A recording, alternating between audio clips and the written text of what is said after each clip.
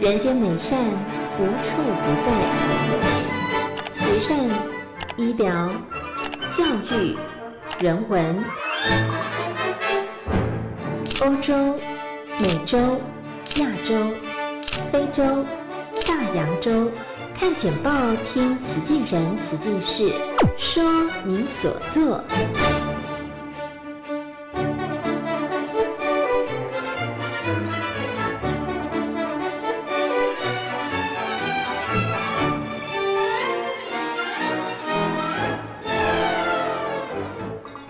看简报，听慈济人，慈济事。大家好，我是美兰。说你所做啊，就是希望让全球的人文真善美志工所传回来的这个活动日志，可以被大家听见。又看见了，真的是非常感恩我们的人文真善美志工。当然，也希望有更多人可以加入，一起来记录金藏的行列哦。所以呢，希望大家可以一起多多来了解慈济志工在全球所做的事情。那当然呢，首先就要邀请所有的好朋友们一定要注意自己的身体健康哦。老公在春天跟他阴那边哦，有的时候就哭泣的脸，有的时候又是笑脸绽放啊。所以天气变化真。蛮大的，一不小心就会像我一样啦，声音沙哑了哈。但是真诚的心还是陪伴在大家的身边呢。好的，那么在今天我们就要跟大家一起来分享，说你所做，我们来看看全球慈济人是如何留下爱的足迹。首先，我们要来看到，这是从农历三月份开始呢，呃，我们在静思金社就开始有很多来自于国内外很多的慈济人就回来朝山，希望能够呃透过这样的虔诚心念来祝福自己，也祝福全世界。那当然啦，呃，我们由静思金社的师父带领大家呢，可以三步。以跪拜来礼敬诸佛，声声的佛号声当中呢，每个人都是步步坚定，心心相印，也念念虔诚。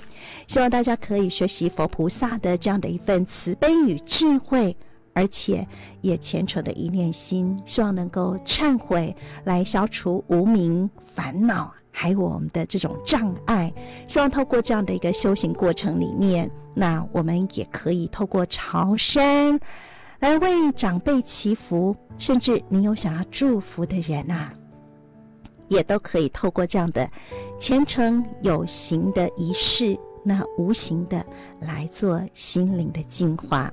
希望透过这样的虔诚，大家共聚善念。那祈求天下平安，人心净化，社会也可以祥和的。那当然啦，在这个朝山，很多人就很好奇啊，朝山代表的是什么意义呢？有三种意义哦，一个是产生信心，培养毅力，也锻炼勇气；第二个是要折服我慢心，要降服我们的嗔恚心。那第三，则是历练虔诚的信念，在中古佛号声当中，人人心口一念，步伐整齐，在三步一跪拜当中，那么大家都是诚心，而且是正念。那当然也希望每个人都可以秉持这样的一份朝山的精神，回到日常生活当中，那有这样的正念。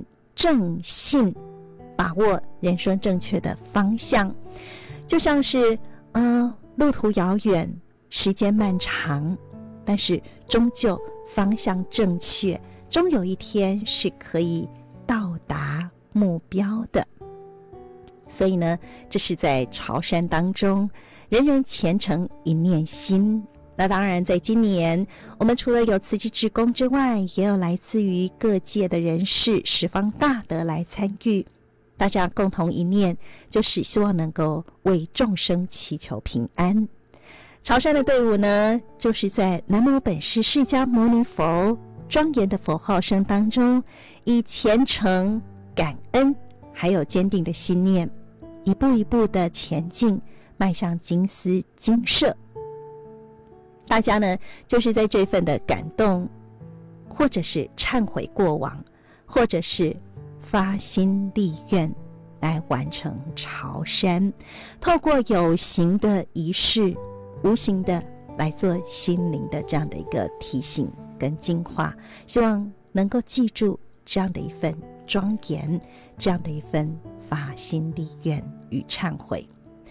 当然啦，在今年也有一群很特别的，就是在四月二十二号这一天，有六十九位静思书轩来自全省的小志工。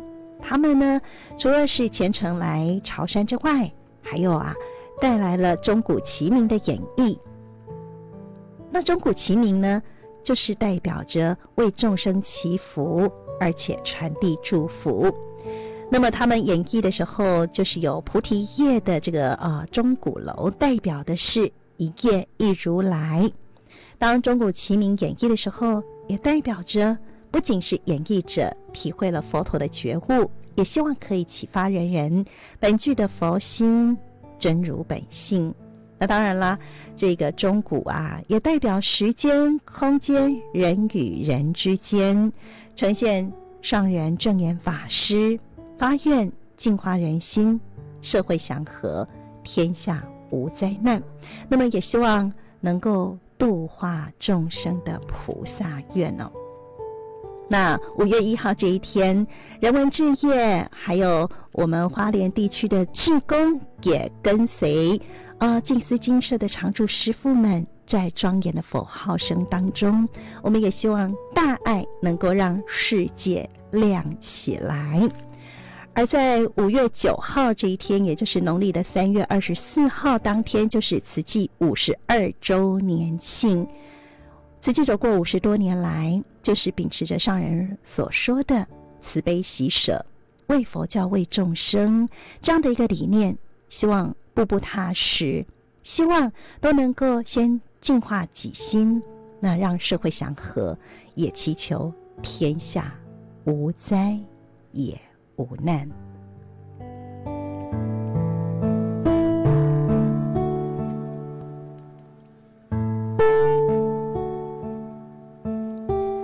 说你所做，看简报，听慈济人，慈济事。接下来我们要跟大家分享的是听诊器与镜头交汇的爱，这是由华联慈济医院跟慈济大学所共同发表的爱。不罕见的罕见疾病写真书的发表哦。那么在这一本《爱不罕见》的新书当中呢，有三十六张的照片，代表的是三十六个家庭的故事。由慈济医院小儿科的朱少莹医师跟医学生们一起记录华东地区罕见疾病的病友跟他们家人相处。幸福的瞬间，哇！说到幸福的瞬间，大家都会觉得幸福好像要去追求，每个人定义不一样，好像要能够幸福是需要很用力的。那罕见疾病的家庭，他们幸福瞬间到底是什么呢？就以当年很多参与拍照的医学生来说呢，他们说啊，在呃回想起这段过程。是他们现在啊，已经在医院当医师，而且在行医的道路当中，他们觉得是非常美好的动力哦。那当然，这个罕见疾病代表的就是盛行率很低，而且很罕见的疾病。目前罕见疾病的认定是以疾病盛行率的万分之一以下，所以真的是很少见。但也因为很少见，所以常常。也没有被看见，像华联地区就有将近三百个罕见疾病的患者。那慈济医院的小儿科朱少莹医师，他一直以来呢，就是为这一些罕见疾病的孩子在默默耕耘。从二零一四年开始，朱少莹医师更是带领了二十位医学生为罕见家庭，呃，来这样子做一些接触。那医学生们在拍摄照片的时候。跟家属互动、访谈，也了解到他们的生命故事，然后呢，就把它完成了诗文稿。这个诗文稿呢，诉说的是医病之间家属跟病患相遇相处的心情，而他们呢，也把这个相处的片刻就化为永恒的感动。很多人都觉得，这真的就是最棒、最好的医学的人文教育了。当年拿着相机在记录的医学生们呐，现在已经是拿着听诊器，在医院里面服务很多的病患，他们都记得当年的感动，而且现在也是行医道路当中非常美好的动力哦。那就像杨志斌医师他也说，对于医学生来说，罕见疾病可能只是书本上的知识。但是啊，透过拍照，他们进入了罕见疾病的家庭，进入了他们的生活，也建立了这一份信任的关系。那也拍下了他们真诚的感情。像他记录的就是杜凯文，凯文罹患了遗传性表皮分解性的水泡症，也就是俗称的泡泡龙。那么在爱并不罕见这本书当中啊，真的是不罕见的爱哦。那看到了，这真的就是医学与镜头。那当然还有爱的一个交汇了哈。所以人生很多时候，到底我们追求的是什么？幸福的瞬间又是什么呢？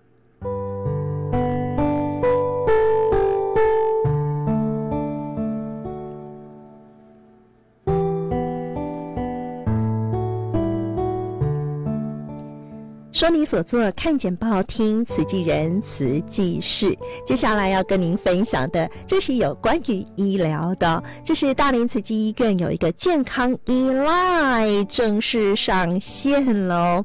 这个全方位智慧医疗服务，哎，听说啊，还蛮超级有感的。哦。呃，到底这个是什么呢？因为现在很多人通讯软体哦，变成哎，好像不可或缺了，对不对？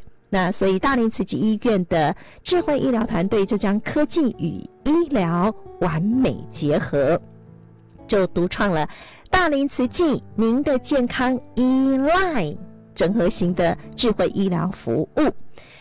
因为呢，以前啊，呃，大家在看病常常有三长两短的困扰，包括啊挂病，呃，就是挂号排队的时间很长，候诊的时间很长。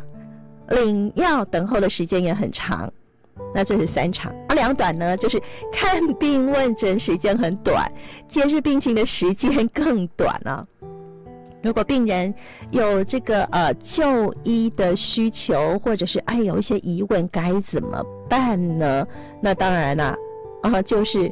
要透过大费周章的，可能呃去跟医师面谈啊，电话咨询啊，啊，如果要申请资料，更是哦要到医院排队申请。那为了解决民众的这个困扰，所以大林慈济医院呃这个智慧医疗团队就自行研发了，提供这个既贴心而且很智慧、快速还很安全的 Line 整合型智慧医疗服务。那当然啦，呃，您只要透过这个 Q R code 行动条码，或者是呃，可以输入 I D 哦，就是 at C A G 六八八一 A，好，再复述一遍 at C A G 六八八一 A，或搜寻大林慈济医院 Line 官方账号就可以加入好友。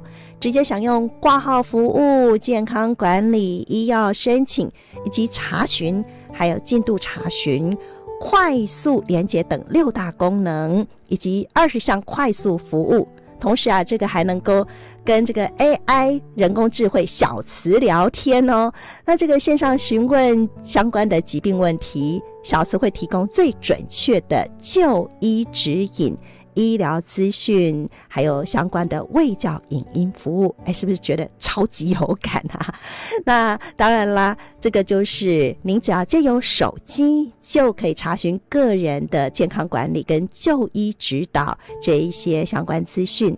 当然啦，大家也很担心这个个资哈，那资讯互通过程都是经过严谨的加密跟验证，所以您如果想要取消服务也是可以，资料绝对保密的哦。所以现在真的是越来越智慧了啦哈！所以呢，邀请朋友们都可以加入这样的一个听瓷器说瓷器的行列当中。那今天说你所做就进行到这儿，我是美兰，啊，法号慈明。